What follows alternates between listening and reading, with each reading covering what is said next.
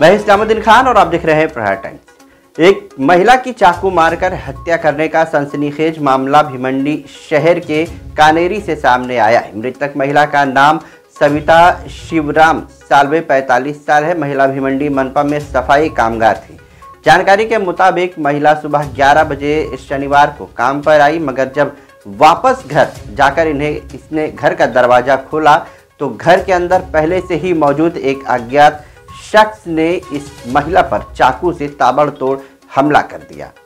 महिला सविता के गर्दन पर और शरीर के कई हिस्सों पर चाकू से वार किया गया और अज्ञात शख्स हमला करके फरार हो गया। मौके पर पहुँची पुलिस ने महिला को हॉस्पिटल पहुँचाया, जहाँ डॉक्टरों ने इस महिला को मृत घोषित कर दिया है।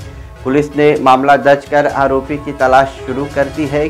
आरोपी की गिरफ्तारी के बाद ही हत्या के कारण का पता चल पाएगा। एक सविता शिवराम सावड़े करके एक महानगर पालिका की सफ़ाई कर्मचारी है। वो हमेशा की तरह सुबह काम पर गई थी सफ़ाई काम के लिए। और ग्यारह बजे के दरमियान वो वापस आई गई। तो उसी दरमियान जैसे उसने घर अपना खोला तो उसके अंदर कोई घर के अंदर एक आदमी था। उसने उसके ऊपर वार किया।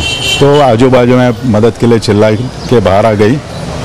तो बाजू वालों ने उसको इमीडिएटली हॉस्पिटल लेकर गए और वहाँ पे उसे डेथ डिक्लेयर किया गया।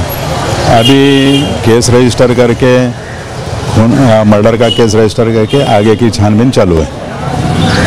सर चोरी का कोई मामला इसमें दर्ज नहीं अभी सभी एंगल से वहाँ पे पुलिस वाले इंक्वायरी करेंगे जो भी एंगल सामने आएगा एक चाकू है वो भी घटनास्थल पे ही मौजूद है। अब सब एंगल से इंक्वायरी होगी।